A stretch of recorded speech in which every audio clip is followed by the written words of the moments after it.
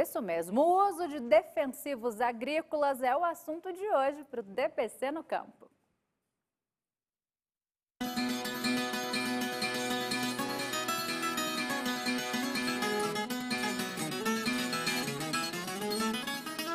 Olá, amigos, sejam bem-vindos ao TBC no Campo.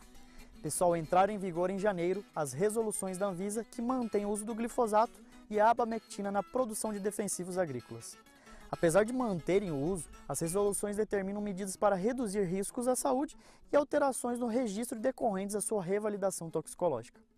Uma das medidas de redução de risco é a que obriga a utilização da tecnologia de redução de deriva de 50% para o glifosato. Para doses acima de 3.700 gramas por hectare, na formulação SL-ISC, também será necessária uma bordadura de 5 metros nas aplicações costal, estacionária, semi-estacionária e tratorizada. A bordadura terá limite externo de plantação em direção ao seu interior e será obrigatória sempre que houver povoações, cidades, vilas, bairros ou moradias a menos de 40 metros do limite externo da plantação. Segundo a Anvisa, a medida vale para todos os produtos técnicos formulados à base desses ingredientes ativos, sejam eles já registrados ou que venham a ser registrados. As decisões foram publicadas no Diário Oficial da União em 2 de dezembro de 2020.